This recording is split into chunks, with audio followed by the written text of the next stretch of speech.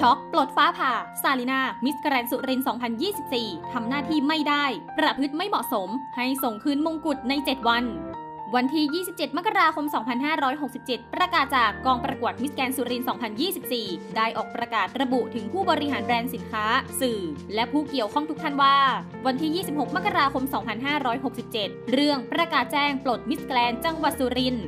2024 อย่างเป็นทางการ ตามที่บริษัท GOG Corporation จำกัด ได้รับอนุญาตจากบริษัทมิสแกรนด์อินเตอร์เนชั่นแนลจำกัดมหาชน ให้จัดผลิตดำเนินการ และพัฒนาการการจัดการประกวดมิสแกรนด์ไทยแลนด์ระดับจังหวัดในนามมิสแกรนด์จังหวัดสุรินทร์กองประกวดมิสแกรนด์จังหวัดสุรินทร์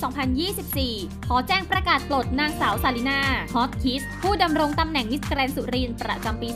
2024 ออกจากตำแหน่งอย่างเป็นทางการ เนื่องจากนางสาวซาลินาไม่สามารถปฏิบัติหน้าที่ตามที่กองประกวดมอบหมายได้อย่างเหมาะสม อีกทั้งไม่ปฏิบัติตามกฎระเบียบกิจกรรม รวมถึงเงื่อนไขที่ทางของการประกวดมิสแกรนด์สุรินทร์2024 กำหนดขึ้น ซึ่งขัดต่อภาพลักษณ์บริบทที่กองประกวดมิสแกรนด์สุรินทร์2024 อย่างสิ้นเชิงอีกทั้งนางสาวซาลินามีพฤติกรรมที่ไม่เหมาะสมหลายประการ อาทิ ผู้จะไม่ให้เกียรติผู้อื่น ปฏิบัติตัวต่อผู้อื่น โดยไม่ให้ความเคารพ อีกทั้งนำข้อมูลอันเป็นความลับของกองประกวดเผยแพร่ให้ผู้อื่น และนำบุคคลภายนอกเข้ามารับทราบกิจการ ภายในของกองประกวดมิสแกรนด์สุรินทร์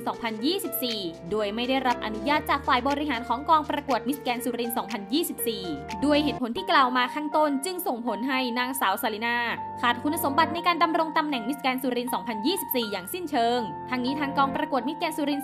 2024 ขอประกาศแจ้งให้ผู้บริหาร แบรนด์สินค้า สื่อ และผู้เกี่ยวข้องทุกท่านทราบโดยทั่วกัน ขอประกาศให้นางสาวสลินาพ้นจากตำแหน่งโดยมีผลทันที และส่งคืนสายสะพายมงกุฎและชุดเครื่องประดับของมิสแกรนสุริน 2024 ทันที ภายใน 7 วัน นับตั้งแต่วันที่ออกหนังสือฉบับนี้ อย่าลืมกดติดตามและกดกระดิ่ง เพื่อจะได้ไม่พลาดคลิปใหม่ๆกันด้วยนะคะ ขอบคุณค่ะ